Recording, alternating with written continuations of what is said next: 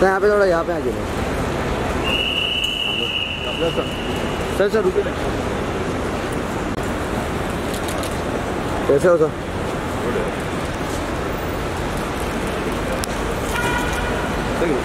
Sir sir एक एक minute. Late हो गया। तो रुकिए ना। हाँ हाँ।